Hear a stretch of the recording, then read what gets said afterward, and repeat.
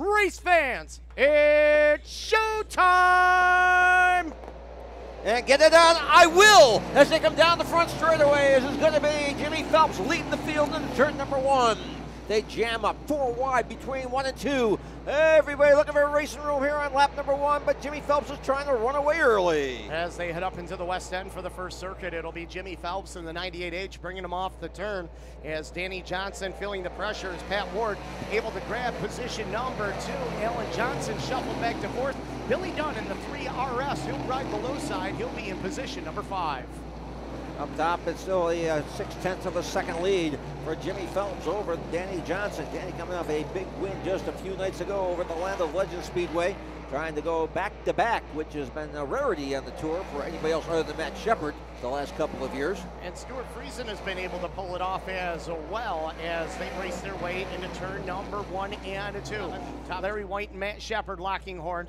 Now they'll go three wide with Alan Johnson off of turn number four. They split the Hall of Famer as Sheppard moves up a spot. He'll bring the 99L of Lightning with him as they exit corner number two.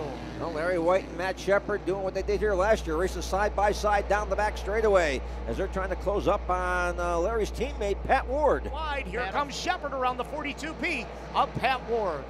Oh, we got a good one here.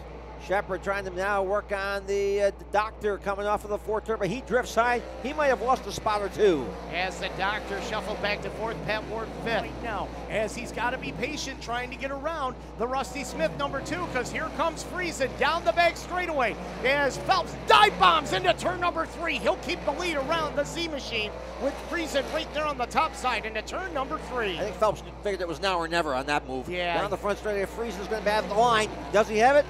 Yep, he does at the line. As he will lead lap number 44, four car number 44. He's to the outside of Matt Sheppard, who was on the back bumper of Pat Ward. So Rudolph, he's been able to show some speed here. He got by Mark Johnson, and now he's working on the 9S of Sheppard, and he's got him in turns number one and two.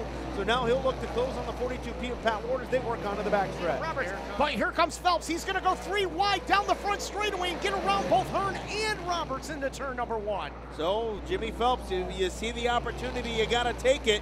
Danny Johnson, he's going to try to do the same, but no, Roberts shuts the door on him off of corner number two. That's going to cost him some ground. So Phelps continues to lead. Brett Hearn and Adam Roberts now between Phelps and your second place running Danny Johnson. Billy Dunn still there for third. Fourth is Stewart Friesen as pressure now coming to him from the 25 of Rudolph and the 42P of Pat Ward. And now Friesen goes to the bottom, Rudolph up through the middle. And Rudolph this time again able to pull alongside Friesen on the back straightaway. Side by side, they'll take it to the west end. Rudolph through the middle, drifts up, slides up, looking to catch a little bit of moisture up there on the high side. Friesen stays down low, and as they exit turn number four, Rudolph's got the spot at the line. It was three wide, coming off of corner number two. Pat Ward was in the middle, Matt Sheppard down low, Stewart Friesen up on the top side. So Friesen again, rim riding it through corners number three and four. Sheppard way down low, and Sheppard able now to get by the 42P of Pat Ward as they came to the line. So Sheppard there for sixth. That puts Ward back to seventh. Stewart Friesen now eighth. Out. We are green and we are racing one more time here in the Freedom Fighter 100. Jimmy Phelps, Danny Johnson, and here comes Matt Sheppard immediately off the restart, diving to the inside of Erick Rudolph. Sheppard wants to grab the third spot, but he opens the door on the bottom for Billy Dunn, who looks to take the fourth position back, and he'll do so. And Mad Max is on the move. The HBR 6H of McLaughlin gets around Pat Warden. He's rolling through the center of the turn. He's going to go after Sheppard for the five spot. He's looking for his 15th career Super Dirt Series win. He brings it off of turn number four, and Jimmy Phelps will win the Freedom Fighter 100. Danny Johnson second, Erick Rudolph third. Ladies and gentlemen, how about a round of applause? The Baldwinsville Bandit. Jimmy Phelps, the Freedom Fighter 100 victor here tonight.